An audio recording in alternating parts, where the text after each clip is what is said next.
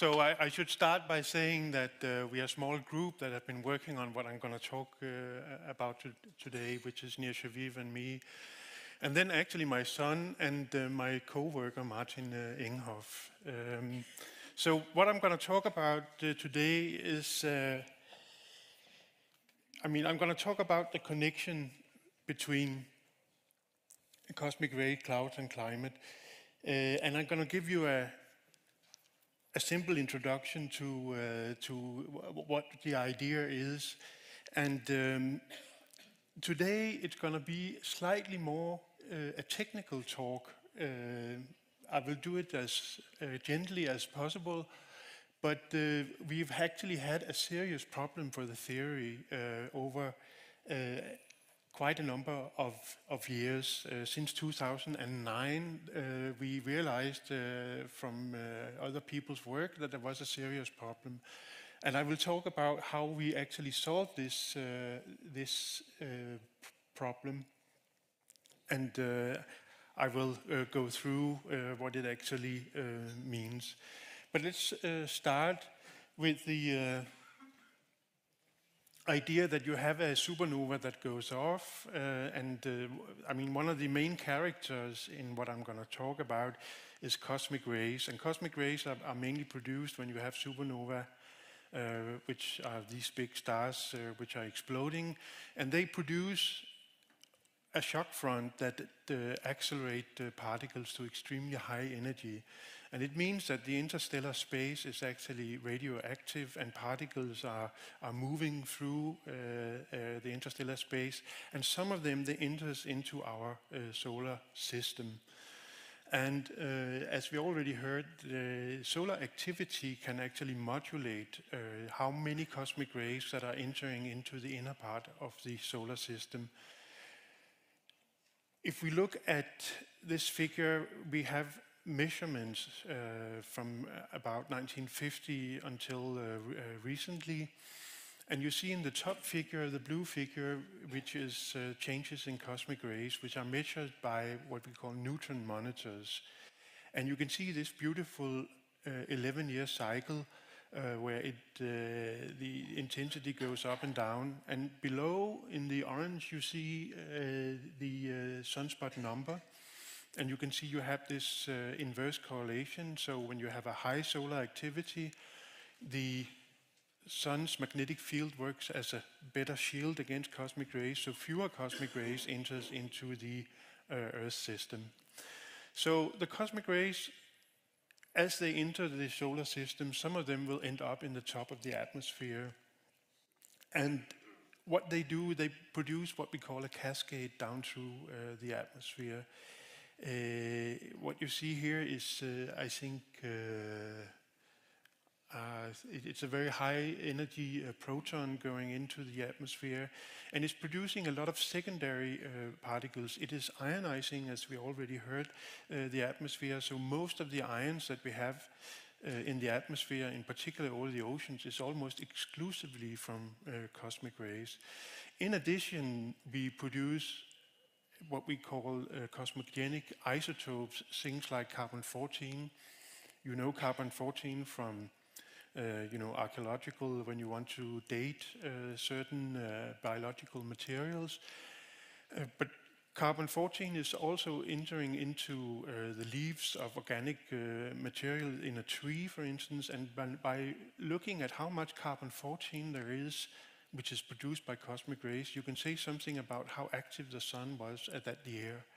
And if you have tree rings uh, and you have old trees, you can go back uh, at least uh, and even more than 10,000 years. And that's one of the ways that we know how solar activity changed over uh, nearly uh, 10,000 years. They are produced, I mean, other isotopes are produced by cosmic rays like beryllium 10.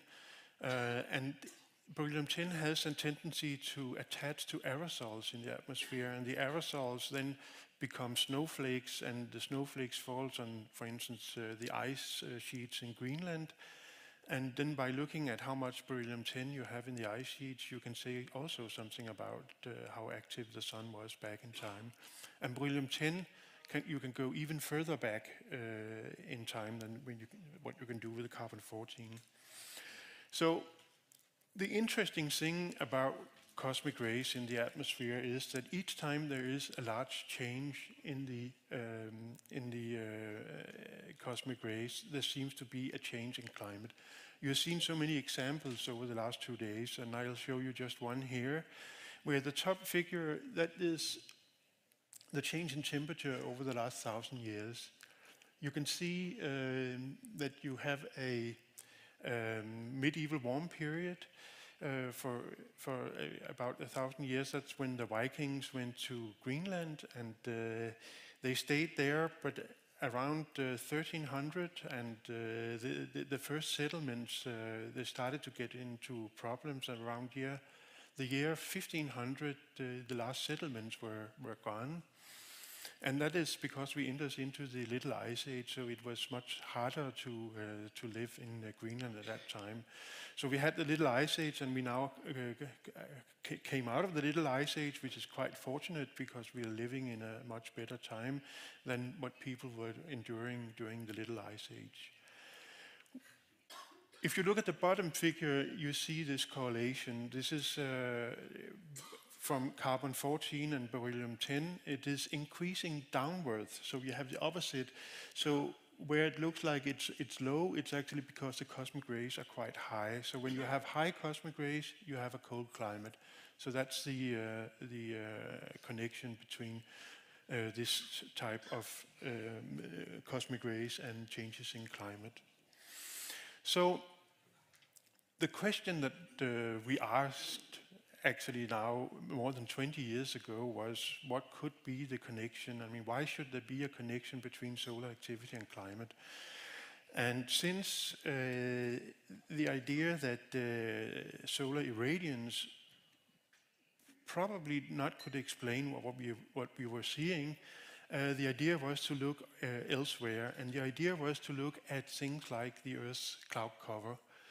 What you see here is some satellite observations of uh, the Earth, and you can see that you have uh, clouds. Uh, I mean, this is uh, uh, what you see here if you look at uh, the Earth. I mean, over the oceans you have a cloudiness almost of 70%, so that means 70% of the time you have clouds. So clouds are extremely important for the Earth's energy budget. the net effect is on the order of 20 to 30 watts per square meter. And that means that if you have a systematic change somehow in the Earth's cloudiness, that would actually be a, a very effective way of changing the energy that goes into the climate system. Um, so that was the general idea. And what we did at that time was to take satellite data and try to compare changes in Earth's cloudiness uh, from satellites with changes in the uh, cosmic rays. And this is the figure that uh, we more or less started with. Actually, I should say that when we started, uh, when I started, we only had data until 1990 because the uh, data was not released at that time. So we had only a correlation over a very short period. But what you see is data from 1983 until 2006 and the red curve is actually the changes in cosmic rays measured by uh, neutron monitors. So these are instrumental uh, records of uh, the cosmic ray flux of secondary particles that enters into the atmosphere. And the blue curve is low clouds from what uh, the data set called the ISCCP data set. And you see this very nice correlation between the two. And that was, of course, you know, that was an inspiration um, that there could be such a connection between cosmic rays and clouds, but it's not any guarantee that there is a real link. Uh, it could, could, be just uh, collision, collisions by, uh, by accident, of course. At that time, uh, it was very uncertain and there was no mechanism uh, to explain what was going on. It could also be that it is other part of solar activity that is modulating uh, things which has nothing to do with cosmic rays. So um, it was sort of an inspiration to, uh, to, to, do further work. Now, the changes that you see here are of the order uh, one to, uh, well, it, it's on the order of 2% changes in the, uh, in the uh, cloudiness uh, of low clouds. And that is actually on the order of one watt per square meter over the solar cycle. And uh, if I show the figure that Nir also showed, which is that the ocean heat content or the sea level surface uh, temperature or um, what is the sea level change, uh, all of these data, uh, independent data, are all showing that the energy that goes in and out of the oceans over 11 years is on the order of one watt per square meter. And it fits very nicely with what the clouds uh, are doing. And again, it's almost an order of magnitude larger than what you get from solar irradiance. And over this period here, it, the solar irradiance is measured by satellite. So the 11 year uh, variations in solar irradiance is actually too small to explain uh, what we're seeing. So there is an amplification mechanism uh, going on. So the problem is, uh, I mean, we have an empirical evidence that there is a relation between uh, cosmic rays and, uh, and clouds. But of course, if that is the link, the question is what would be the mechanism? And that's actually what uh, we have been working on for more than uh, 20 years. And the general idea is that we start from the uh, left-hand side, where we have the ionization in the atmosphere from cosmic rays. And then the idea is that this ionization with the ions, uh, they help stabilize gases in the atmosphere, so you get uh, small stable aerosols. Uh, and this is what we call nucleation. So we get nucleation of, uh, of particles. And then subsequently, they have to grow because they are one to two nanometers uh, large, and then they have to grow maybe to a, to a 100 nanometer before they actually affect the clouds. And that means that they have to increase by almost a, a factor of a million in, um, in their mass. So the idea is that by changing the ionization, we change the number of what we call CCN, or this is also called the cloud condensation nuclei. And if we change the cloud condensation nuclei, the idea is then we change the properties of clouds. And I can show you that this is actually the case because if we if we uh, look at this picture here, where you see a part as this satellite uh, picture of uh, the oceans, and you have a, a large, large region with uh, low clouds, and you see all these stripes, and this is called uh, ship tracks. So these are ships sailing along, and because they had this dirty fuel, they pump out extra aerosols. So you can see in the wake of uh, the ships, uh, these aerosols enter into the, uh, the clouds and they actually changes the microphysical properties of clouds and you can see they're much wider. And if you could do this by cosmic rays um, over the whole Earth, it will be a very effective way of changing the uh, radiative uh, balance uh, of the Earth. So you see this very nice um, uh, idea that if you change the, the, uh, the uh, number of aerosols, you can change cloud properties. Here you have a, a, a, slightly larger version, and you can see that it is actually the individual clouds that are changed, and it's not just uh, some kind of uh, pollution directly uh, that you are seeing.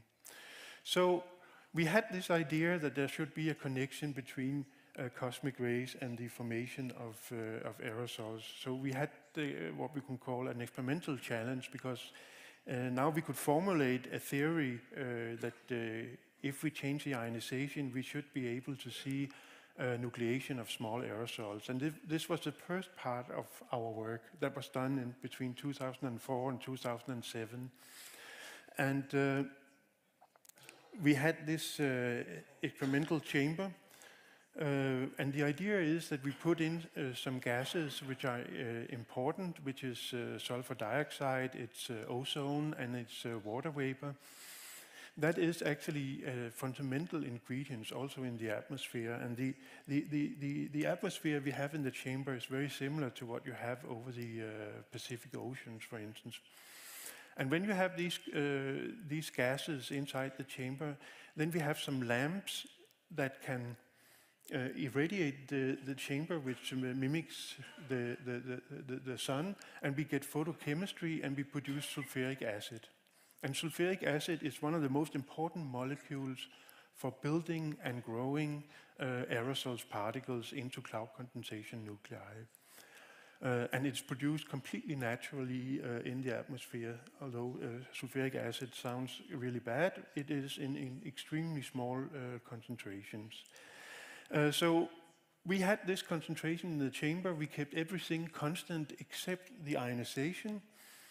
And we got this uh, result you can see here. So along the uh, lower uh, axis, horizontal axis, we have the increase in the ionization that corresponds to the cosmic rays. And on the other axis, we have uh, the number of small particles produced, that is small aerosols uh, on the size of uh, about three nanometers. And you see that as we increase the ionization, we increase the number of small aerosols. So there is a nucleation mechanism, which was uh, really great. So we were very happy when we got these uh, results because we thought that we were, we were home free, that uh, we have now proven that uh, there is a mechanism and it works. Uh, it produces new aerosols and uh, these aerosols will grow to cloud condensation nuclei. But the thing is that they actually have to grow quite a lot, uh, as I already mentioned. Uh, here you see the relative size uh, between the, the, small nucleated aerosol. It has to grow to a size uh, that you can see here. And if this small aerosol does not grow to cloud condensation nuclei, there would be no effect uh, on clouds from uh, the, uh, the cosmic rays. And the thing is that, many things could go wrong before you end up to become such a large particle. We were very optimistic. However, uh, people they started doing uh, numerical uh, experiments. What you see here is uh, on the lower axis, you, you see uh, around the number one. Uh, that's where you have a nucleation of particles. So they run a model where they put in about 5% more small aerosols in the, this model. Now, if this idea should work, we would expect that the particles that are produced within the circle, that should grow more or less horizontally. So the number of particles that we get, so if you have put in 5% more particles, you will also get 5% more cloud condensation nuclei. But all the numerical models or the global circulation models where they had uh, very sophisticated aerosol models, they all ha had the result that the particles grew but very, very few survived to cloud condensation nuclei. So that meant that that would be a serious problem. I mean, if this is correct, uh, the theory is wrong. So all this modeling, and I mean, just 2016, uh, there were model results saying the same thing, that uh, there's no uh, effect. So from 2009 and onwards, it was quite clear that in the media and uh, many, many scientists were saying that what we were doing was not, I mean, it was a good idea, but it's all wrong because it doesn't work. And it was sort of written everywhere that what we were doing uh, was, wasn't working. Um, so you can see here there were quite a lot uh, going on. So that was the end of uh, the theory. However, as also uh, uh, showed, what you see here is uh, supposed to be our um, uh, solar system, and what you see is this plasma coming out from the sun. And you can see these explosions. This last explosion you see is actually one of the largest that we have had. It was in 2012. It did not hit the Earth, but if it had hit the Earth, it would have had serious problems for all the satellites. So many of them would have been, uh, uh, you know, fried and uh, would not have been working. But these explosions with, the, with this uh, uh, plasma going out, that is almost like an umbrella uh, for the cosmic rays, and that is what gives you this uh, picture that you see uh, or, or, have already seen, where the, the red uh, dotted curve is the cosmic rays. And what we actually see uh, is that we have a dip in the cosmic rays when this plasma is moving out through the planets. Um, and it's 15 days before and 20 days after. So it, we are talking about an effect uh, over uh, a week. And you see this dip in the cosmic rays. But if we look at this AeroNet data, which is actually aerosols, we see that there's a dip. So when there is when there's a decrease in the cosmic rays, we actually get a significant dip in the uh, number of uh, aerosols. And then we have three independent data sets uh, from different satellites, which all are showing the same thing. You also notice that there seems to be a delay uh, effect here, and that's simply because the aerosols, which are uh, nucleated, they have to grow so all these are independent uh, data sets. So we have a link uh, that illustrates that, uh, no, I was talking about the delay, yeah, that's true. The delay, which is on the order of, uh, of uh, five days, it fits very nicely with the time it takes for the aerosols to grow from one nanometer to about uh, 50 nanometer. So we have some observation that indicates that the process is actually going on. We somehow had to prove uh, that, uh, that there is a mechanism, but we did not really understand it. So we had to go back to our experiments and try to figure out what was going on. Uh, so the real problem is uh, now not, this part where we have the nucleation of the small particles. I mean, even the cloud experiment at CERN has uh, reproduced uh, the, the, this, this feature where we produce the small particles.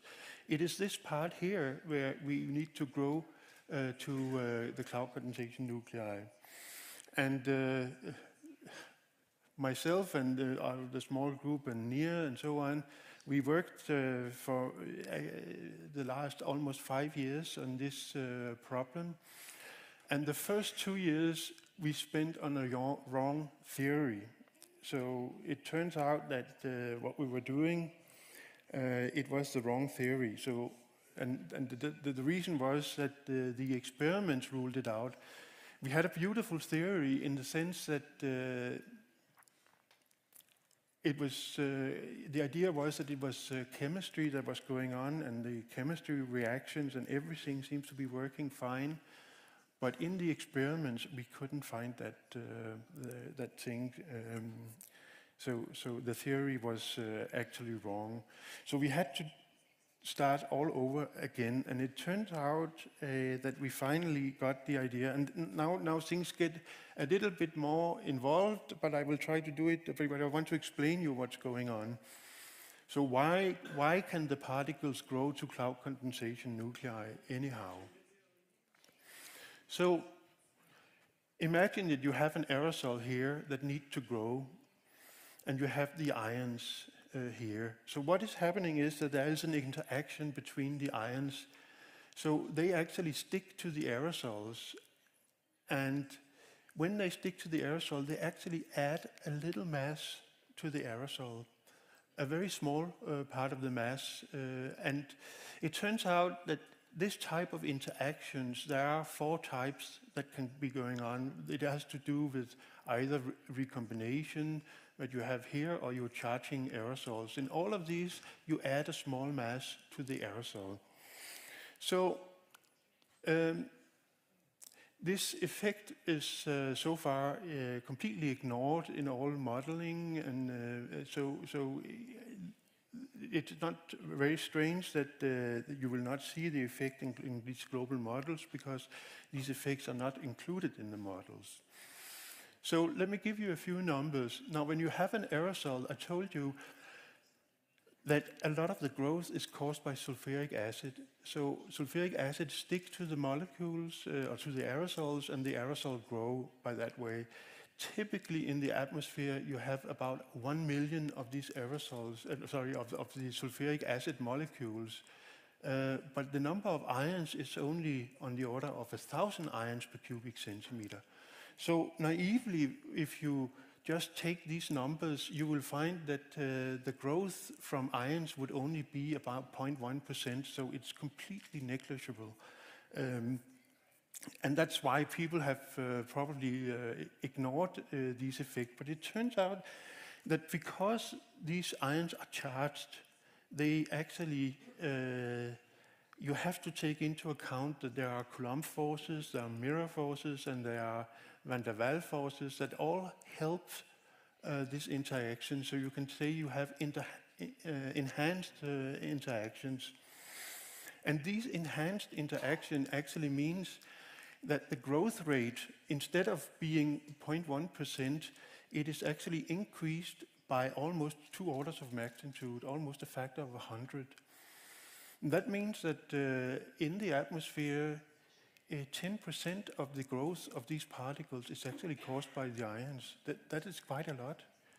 Uh, in our experiments, uh, because we cannot have such a low concentration of sulfuric uh, acid, because then things would grow so slowly that we will lose all our particles. So we have to have a fairly high uh, uh, or relatively high concentration of sulfuric acid, and the growth rate is only on the order of 1%. Uh, so here we have the theoretical uh, foundation, but what we have to do is try to see if we can uh, show it experimentally. And that's a real challenge because the change in growth rate is only on the order of 1% in our experiments. And that is very, very difficult to, uh, to measure. So let me show you uh, the sort of inspiration for the type of experiments that we are doing. This is actually aerosol formation in the forest uh, in Finland. Uh, the concentrations of gases, because it is in a forest, is completely different from what you have over the oceans. But what you have here is the day uh, as time goes along, and here you have the size. So this is one nanometer, this is 10 nanometer, and this is 100 nanometer. So here there are cloud condensation nuclei. But you see, as the sun goes up, you get the photochemistry, you get uh, sufficient with sulfuric acid so you can actually start the nucleation. So you have particles growing here. This kind of plot is called a banana plot. and we wanted to do exactly the same thing. So have a cycle, uh, almost like a daily cycle, but instead of having the sun going up and down, we had the cosmic rays going up and down. And instead of having 24 hours, we have a cycle of four hours. So how does that look? It looks something like this.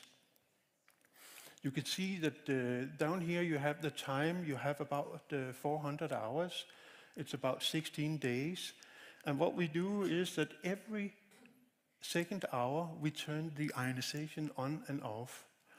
And uh, when we turn it on, we produce slightly more particles, and then we turn it off and we produce slightly less particles.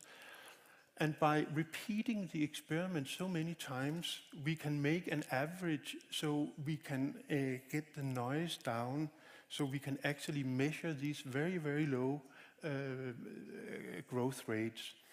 So here you have the, the, the, data I showed you just before with all, all this data for just one parameter. And here you see when you add the cycles on top of each other, uh, then you get a, this average cycle. So you have the first two hours when we have the ionization go, uh, going on. You have here the size of the particles, and you can see they are growing. Uh, and then we can compare how fast they grow compared to when you are not in the ionization. So, uh,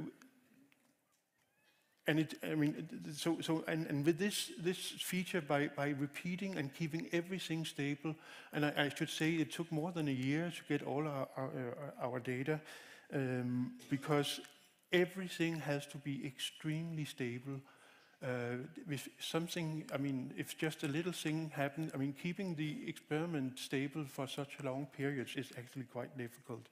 Anyhow, it turns out that when we compare our data, well, here we have the, uh, the uh, increase in growth rates. Uh, here we have the sulfuric acid uh, concentration. The, the only important thing here is that the data seems to be fitting very nicely with the theory uh, that I discussed. I'm not going into any uh, details about how it's done, Uh, and also, if we change the ionization, we, we see uh, that it, it fits very nicely. So I can say that the, the theory and the experiments are quite consistent.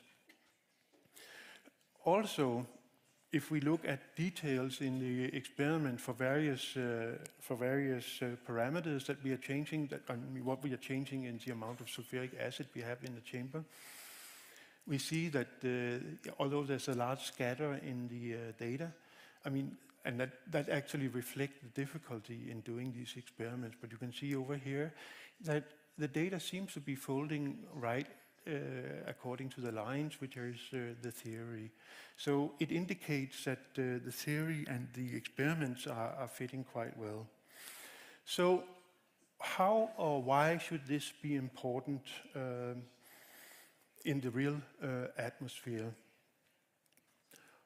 Um, if you look at this uh, map here, it's a simulation of and it's based on the uh, sulfuric acid concentration that you have, and they try to measure uh, the growth rate of aerosols.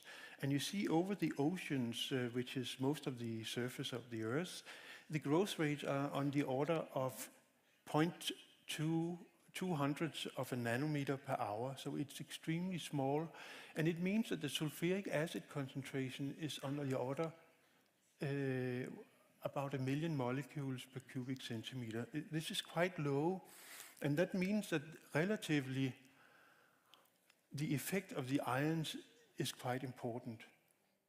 So the sulfuric acid, if the sulfuric acid was high, then the effect of the ions uh, on the growth rate would be too small to be important. But in the real atmosphere, the sulfuric acid uh, concentration is always quite uh, low. So if we now look at this theoretical curve, um, what you have here is the diameter of the particles that are growing, and up here you have the ion production that you ha have in the atmosphere. Um, and what you see, these lines here, is uh, how much the, the um, ionization is adding to the, uh, to the growth. So here it's 5%. Uh, if we go up here, it's 10%, and it increases. And it all depends on, of course, the size of the particles and, of course, how much ionization that you have in the atmosphere. So in the lower part of the atmosphere, you might have uh, only a few ions per cubic centimeter per second, and you will get, um, you know, between 5 and 10 uh, percent of the growth is actually caused by ions. Uh, if we go higher in the atmosphere, in high in the troposphere, we might get up to 30 uh, ions per cubic centimeter, and you see that you get close to about 20% uh, of the growth is caused uh, by ions. And if you have changes in the ionization, yeah, then you have change in the growth rate of the particles.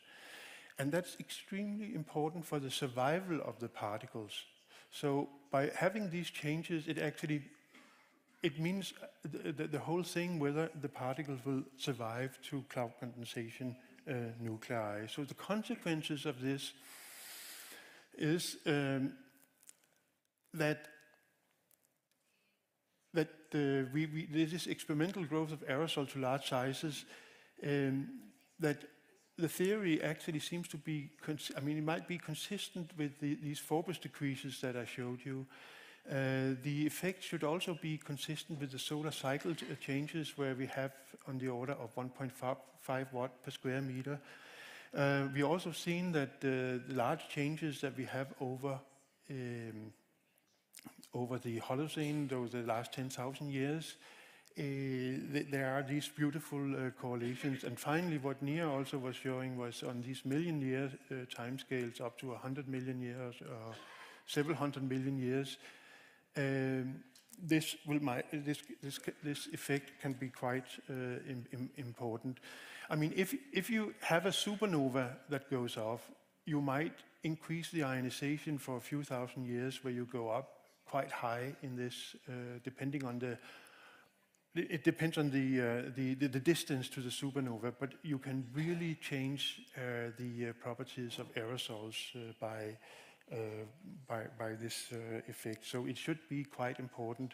And also, if you go between spir spiral arms and interspiral arms, you will have large changes in the ionization and therefore in the survival uh, probability of, uh, of these aerosols. So it should be quite uh, important. So um, let me just summarize uh, the, the, mechanism. The idea is uh, that we have some gases in the atmosphere uh, that are produced perfectly naturally, uh, probably from, uh, I mean, photochemistry, but some of the uh, species are actually from bio processes. And then you have the ionization from uh, the Milky Way, uh, where the sun can modulate how, how much gets into the, uh, the atmosphere. So you get the nucleation. But the ions are not just helping the nucleation, they're also helping the growth. And uh, by changing the number of cloud condensation nuclei, you are changing the, uh, the uh, properties of clouds, and then in the end, the energy budget of the, the, the Earth. So let me conclude this talk um, I mean, we have cosmic rays that comes in and uh, they are producing ions in the atmosphere. This is not controversial at all. Uh, this is a, a, an experimental fact, uh, observational fact. Um, and also the ions, they help this nucleation formation of uh, small clusters of small aerosols.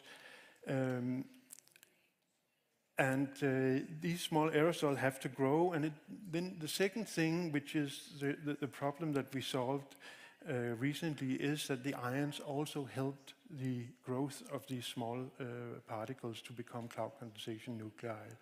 And that means that we sort of have the whole chain now secured uh, both uh, observationally, theoretically, and experimentally. So I think it, that part looks very good. We would like to do some more work also on the how, how it changes the radiative properties of clouds, and that will, will come soon. So the implications is that uh, when you have more cosmic rays, you actually change the properties uh, mainly of low clouds, and also because low clouds are the most important clouds uh, for the uh, Earth's uh, energy budget.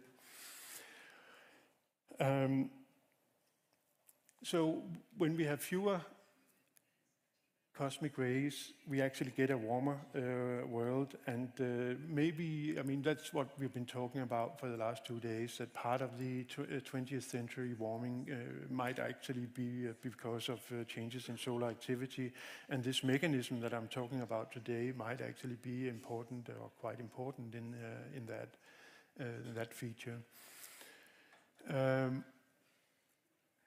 also, the cooling that has happened over the last 10,000 years uh, seems to be uh, fit uh, fit very nicely into this, and of course the very long time scales that I just uh, mentioned and Nir has been uh, doing a lot of work on. So that is the end of my talk. Thank you.